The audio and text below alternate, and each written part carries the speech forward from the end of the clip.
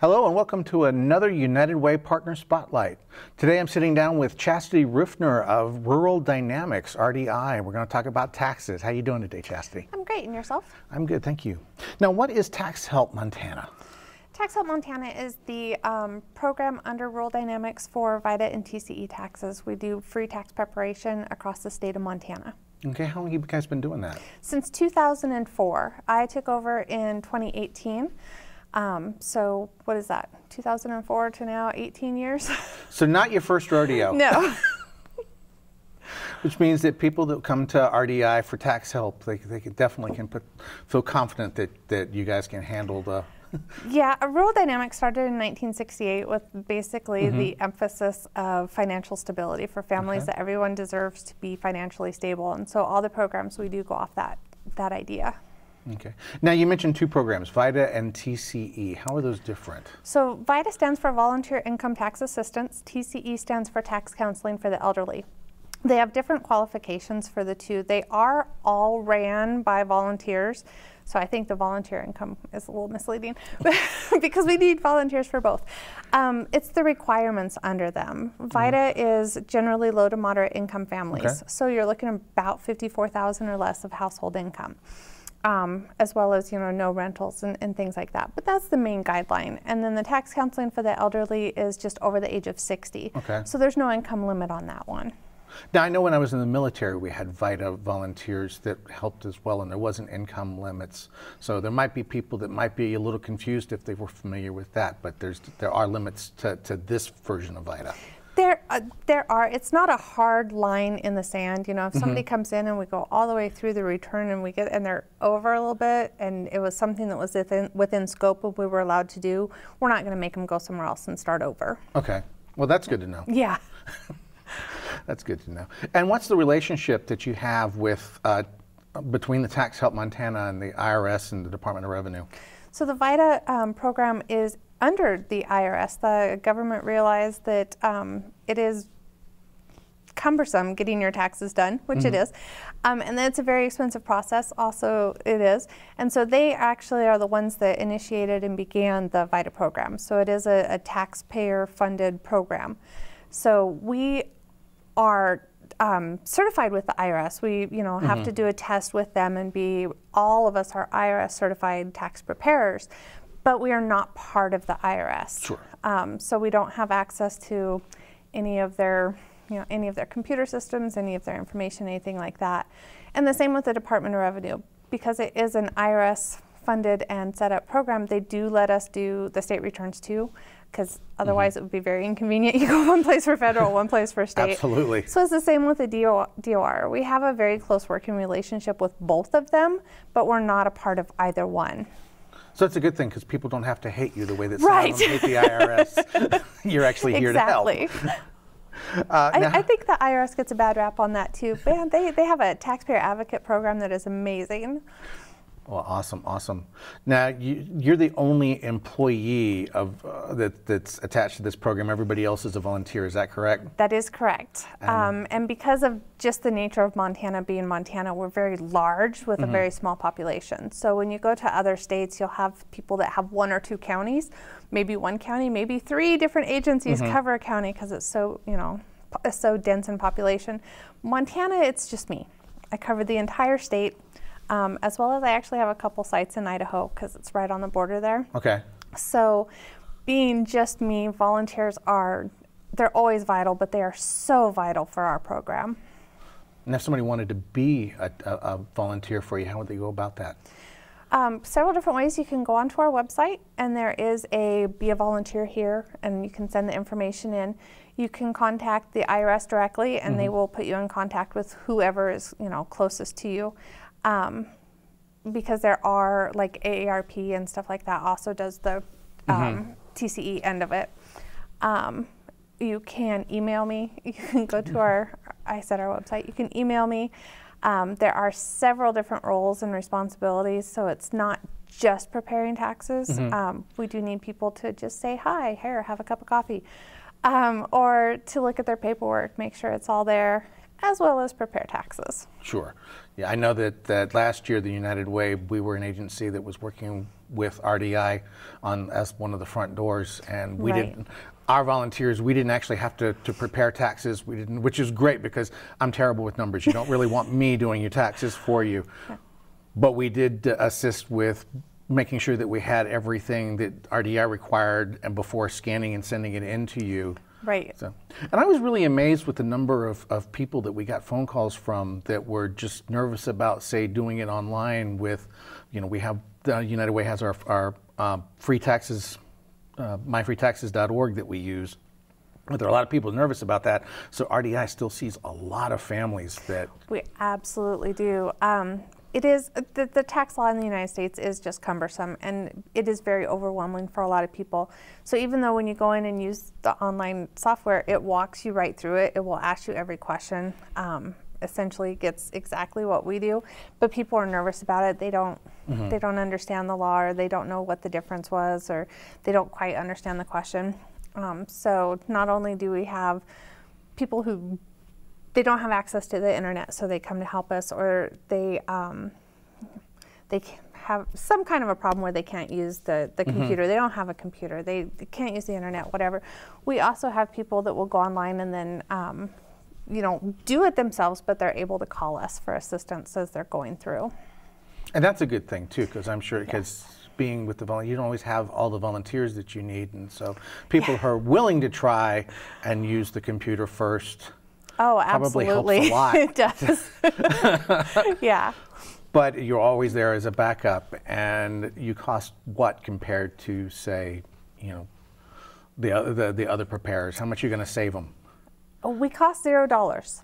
Uh, so on average nationwide, the average tax tax return is two hundred and seventy three dollars right now. Most places charge by the form. So if you have one W two, it's fifty dollars. If you have earned income tax credit, it's hundred dollars. They charge per form.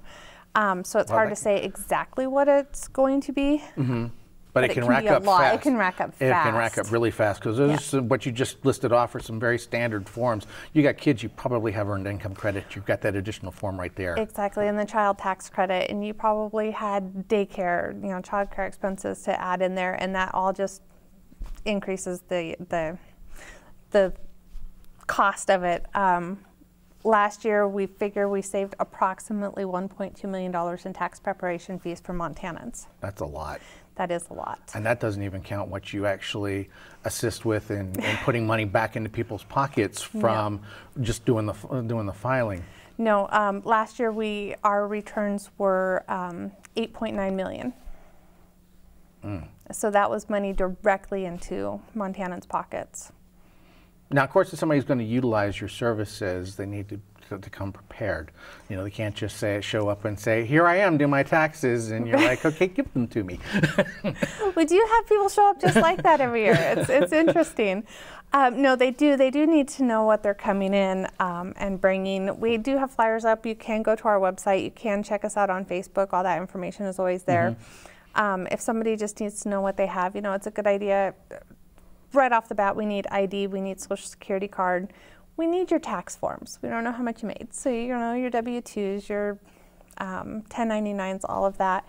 This year is um, going to be particularly interesting because clear back in March, we had that third stimulus payment.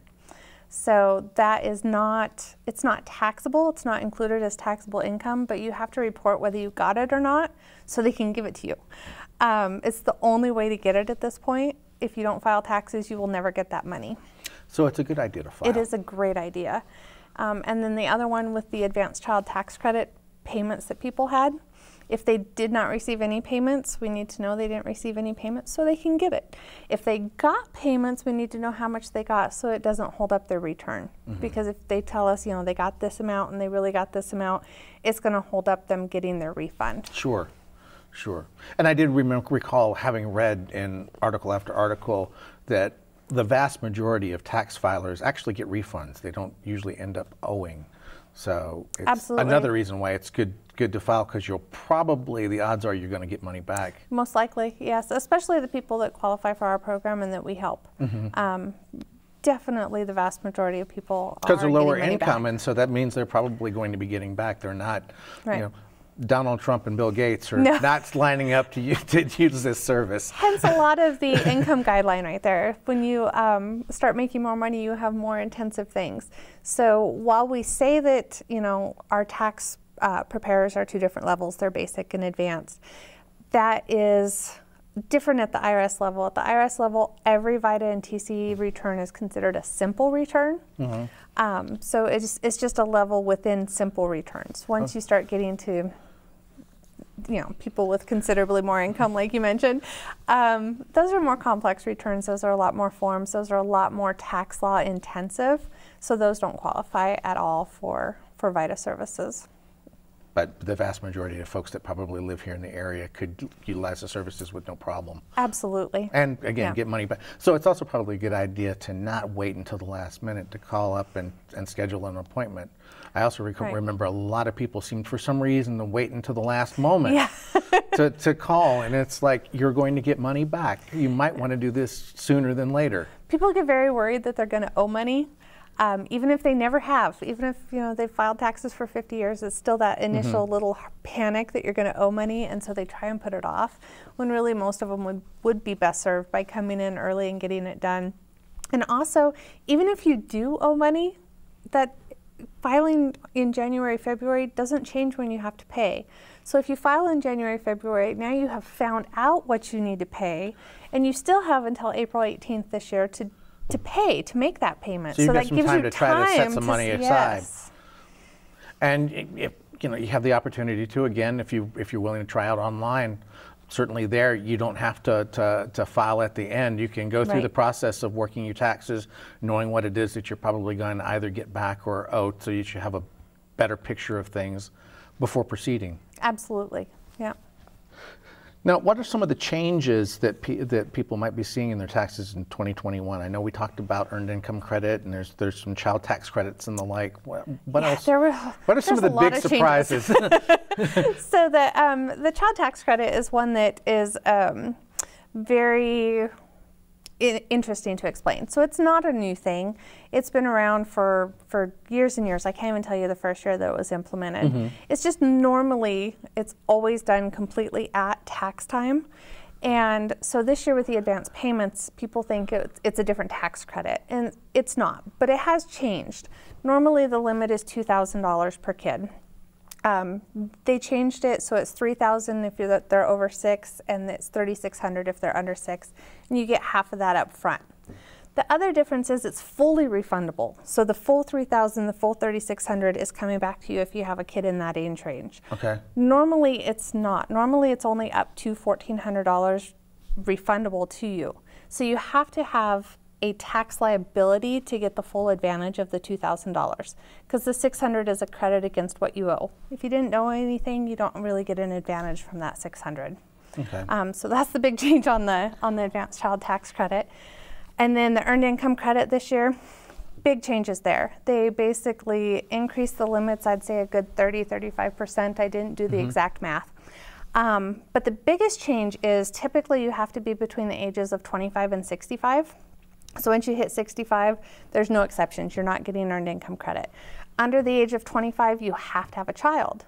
This year, and for this tax year only so far, they may extend it, but right now, just for this tax year, you only have to be 19. You don't have to have any children or anything else. You have to be 19 or older and have earned income. It is the earned income tax credit. You do have to have earned income. Um, but that's it, that's the only requirement. And you may actually see uh, see very similar numbers to previously, uh, even though you might have gotten the, the, the previous the advanced credits because of the way that the numbers have changed. Yeah, um, there are a lot of articles about people seeing lower returns, and I am sure there are a lot of people that are going to see lower returns. I tend to hyper focus on the people that we're helping, and I think with the people we're helping, we're not going to see any differences, or at least not any major differences. In fact, I expect probably they'll, they'll get bigger refunds for those reasons, with it being fully refundable, with the earned income credit limits going up so much, as well as now they have also increased the child and dependent care credit. Okay. Um, so normally you only get 35% of what you paid up to You know, if you paid 4000 for one kid, you can get up to 35% of that. The, or 2000 excuse me. This year is 4000 this year they said you can get up to 50% of 4000 for one kid 8000 for two or more. So you have a lot more um, you're going to get a lot more credit for any daycare expenses that you did pay. So they'll actually compensate for the money that you may have already previously gotten, and therefore your refund may not may be still in the same ballpark that you're used to, even though you've already gotten some money. yeah.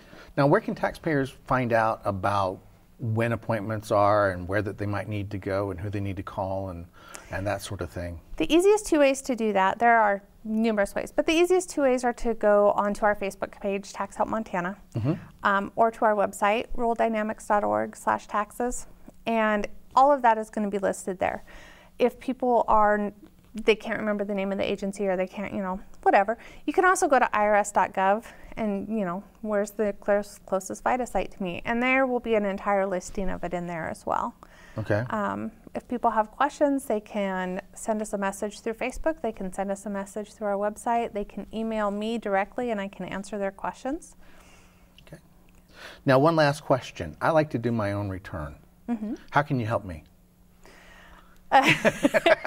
So when you go, uh, there's a link on our on our website, and if you go in and use our software, you also get a phone number to use our our support. Okay. So if you do go in and you're trying it and maybe you're struggling or you don't understand the question, you're still going to be able to get help from us and our volunteers.